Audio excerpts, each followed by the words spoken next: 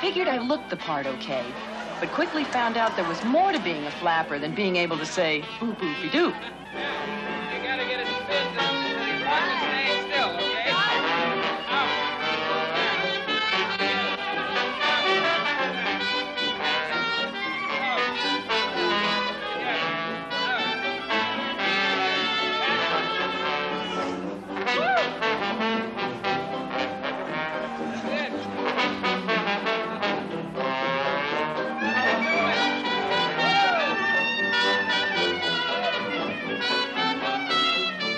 We danced till three.